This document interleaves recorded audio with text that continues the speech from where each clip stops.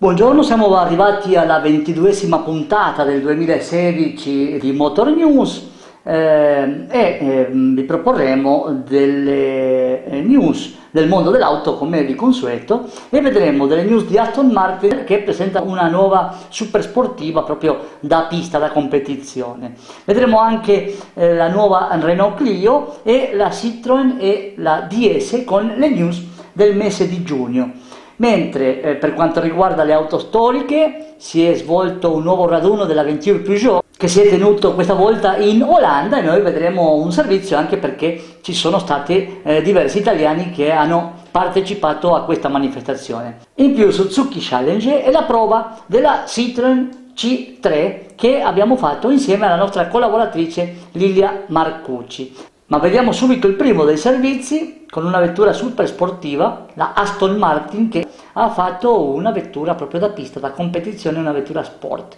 Vediamo di cosa si tratta.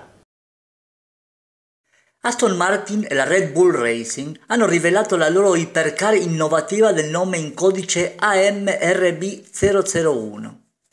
Il prodotto è frutto di un'ambiziosa e straordinaria collaborazione in una partnership unica dell'innovazione tra il marchio di lusso britannico e l'eminente squadra di Formula 1, che combina la visione e le competenze dei due marchi leader a livello mondiale per creare una vettura stradale simile mai stata vista prima.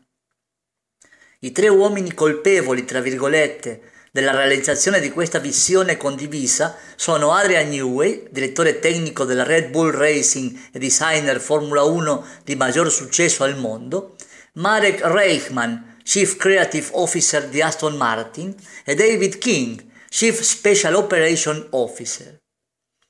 Insieme sono la punta di diamante di un'alleanza formidabile che unisce più di 100 anni di specializzazione, sia con il patrimonio rendendo alcune delle vetture GT più belle e carismatiche del mondo e con la brillantezza tecnologica e incessante ricerca della velocità ed efficienza che ha visto la Red Bull Racing eccellere nel mondo ferocemente competitivo della Formula 1. Reichman e Newey stanno lavorando a stretto contatto su tutti gli aspetti del progetto, cercando di garantire la AMRB 001 una fusione senza precedenti di forma e funzione, una macchina progettata per essere completamente utilizzabile e piacevole come una vettura stradale, ma con la capacità di essere utilizzata come nessun'altra vettura stradale prima, così come su una pista da corsa. Per coloro che desiderano un'esperienza di guida ancora più interessante e concentrata, c'è una versione unica da pista della MRB 001 che è anche in fase di sviluppo con la performance proiettata di quello che oggi è in linea con la categoria LMP1 dei prototipi sportivi di Le Mans.